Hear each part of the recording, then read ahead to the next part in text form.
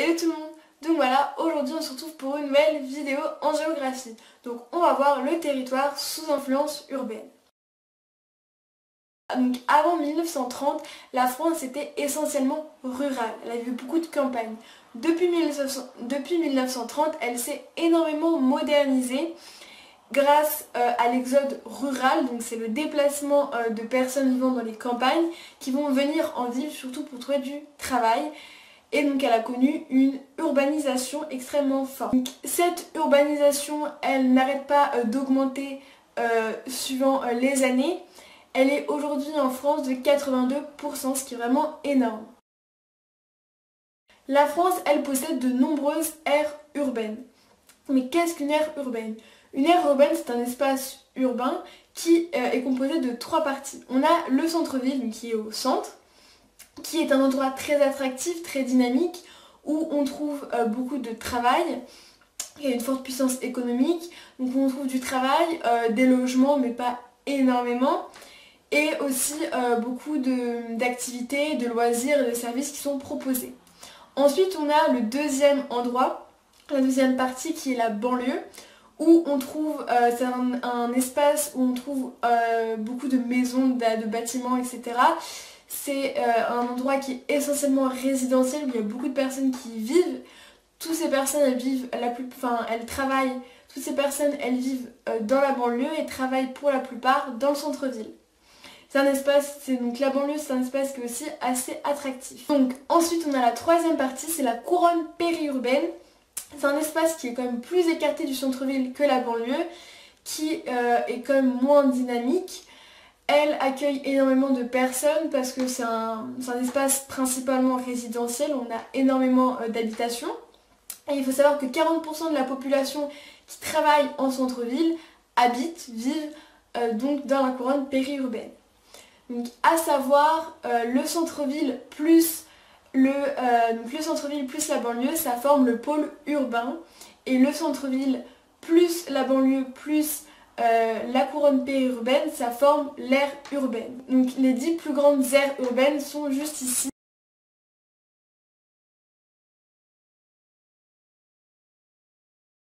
Les aires urbaines qui ont la plus grande croissance urbaine, elles se trouvent euh, surtout euh, dans le Grand Ouest, donc comme donc juste ici, comme Nantes qui est du coup une aire urbaine, et tout le sud de la France. Donc c'est ces endroits, ils sont extrêmement, ces aires urbaines, elles sont euh, attractives. C'est pour ça qu'elles ont une forte croissance urbaine. Elles sont très attractives, très dynamiques et elles profitent euh, d'une belle image dans tout le pays et aussi euh, d'une belle qualité de vie, d'un beau cadre de vie par le soleil dans le sud par exemple les grandes villes, les grandes villes, elles attirent beaucoup de gens et elles deviennent petit à petit des métropoles. Donc une métropole, c'est une grande ville qui regroupe euh, des fonctions politiques, économiques, on y trouve beaucoup de travail, beaucoup de quartiers d'affaires, etc.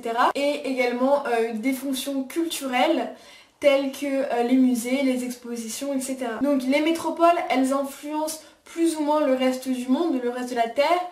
On a des métropoles euh, régionales qui vont influencer, euh, une région, des métropoles nationales qui vont influencer un pays et euh, des métropoles mondiales qui vont influencer tout le reste de la planète.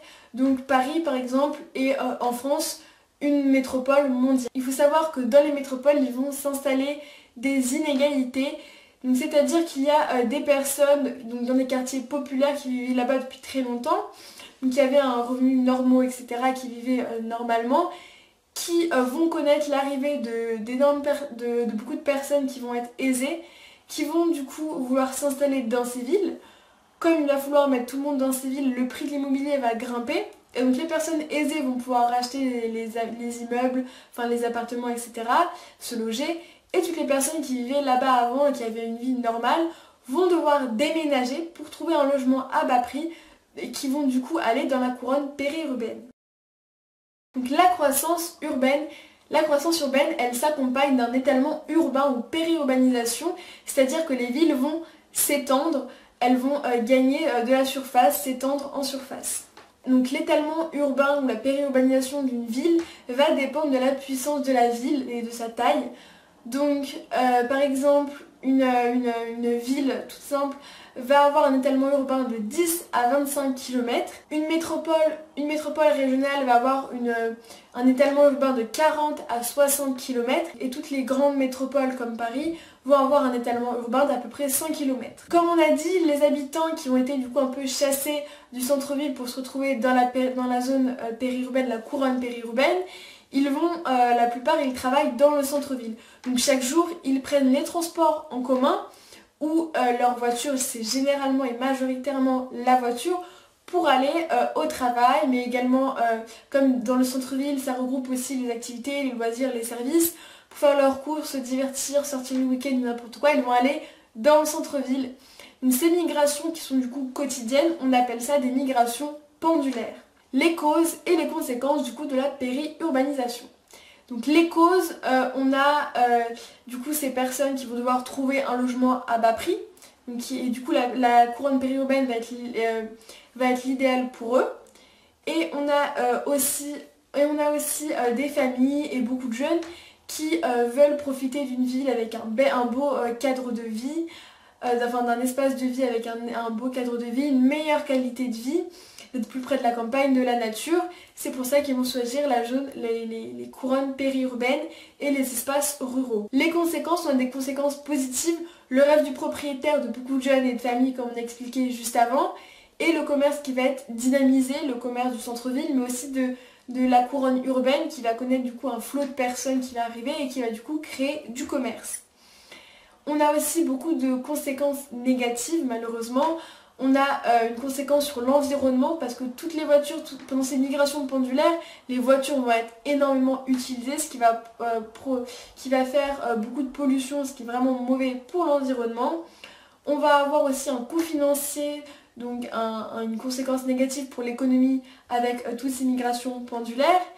Et on va avoir aussi des conflits d'usage, c'est ce qui s'appelle comme ça, c'est un conflit entre les nouveaux habitants et les anciens habitants bah, de ces couronnes périurbaines parce que euh, dans les couronnes périurbaines et les espaces ruraux, on va avoir euh, ce qui s'appelle des mitages, donc c'est du construction de maisons individuelles, de grands bâtiments dans ces espaces qui vont du coup euh, changer le paysage.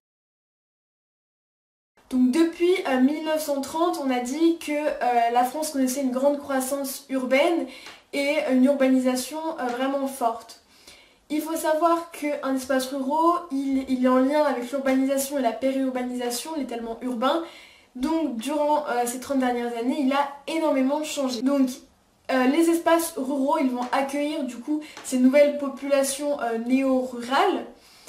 Donc ces personnes, donc les néo-ruraux, ils travaillent pour la plupart dans le centre-ville.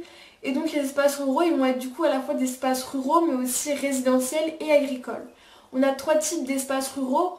On a euh, les campagnes périurbaines, elles dépendent de la périurbanisation et de euh, l'étalement urbain. Elles accueillent énormément de personnes, donc elles ont un fort dynamisme, euh, une, bonne économie. Ensuite, on a les nouvelles campagnes, c'est la deuxième catégorie.